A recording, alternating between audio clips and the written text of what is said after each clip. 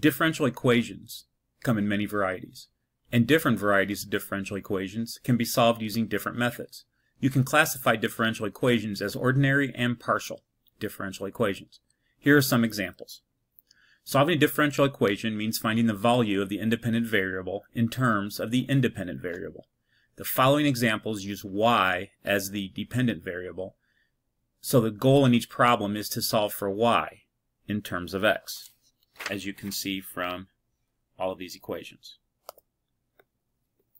An ordinary differential equation has only derivatives of one variable. That is, it has no partial derivatives. Here are a few examples of ordinary differential equations. And you can see from our examples what we see here. In contrast, a partial differential equation has at least one partial derivative. Here are a few examples of partial differential equations. And you can see the partial derivatives here.